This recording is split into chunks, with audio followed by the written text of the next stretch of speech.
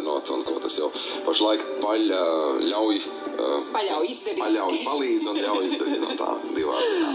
Kolēģis, labrīt! Labrīt, labrīt. jums Nu, noteikti. superdators Latvijas basketbola valsts vienībai arī noteikti nu, var uzlabot to visu, kas tur ir. Diemžēl vakardien izšķirošajā fināla spēlē bez variantiem zaudējām Brazīlijai un mūsējie. Nu, var nepakot Somas uz Franciju. Nu, tas ir tas moments, kāpēc tā sunīša pifa dziesma man tur arī atbalstīs, atbalstos, bet, nu, faktiski, laikam, tas sāpīgākais zaudējums ir tad, ja viņš ir tik tuvu jau, ja? Ne- Jā, protams, protams. Nu, Malači līdz finālam tika Luka Banki. Līdz šim arēnā Rīga vispār nebija zaudējis nevienu spēli, kamēr viņš ir valstsvienības galvenais treneris. Olimpiskajā kvalifikācijā pirmie divi zaudējumi. Žēl, ka tas otrais bija tieši tajā fināla spēlē. Sāpīgi, sāpīgi. Nu, varbūt tas sāpes Toms aizskalos ar savu informācijas porciju.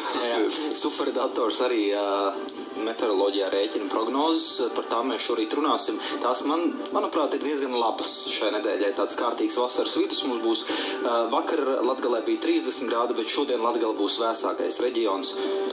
Ar to arī sāksim. Tātad Latvijā un vidzemes austrumos apmākušās debesis, tur dažviet arī līņā un gaisa temperatūra ap 13-14 grādiem. Pārējā valstī diezgan līdzīgi kurzemes vidienē vēsāks, tur ap 10-11 grādiem.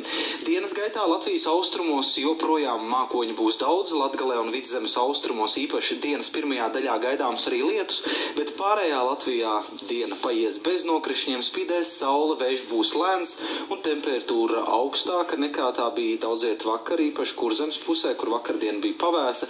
Šodien 21, 23 grādi, valsts centrālajā daļā līdz 24, 25 grādiem, bet austrumos, kur būs vairāk mākoņu un līs, ap 19, 21 grādu. Rīgā lietus nav gaidāms, vējš būs lēns, spīdēs saule un pēcpusdienā temperatūra sasniegs 24 grādus, tā kā lieliski vasaras diena.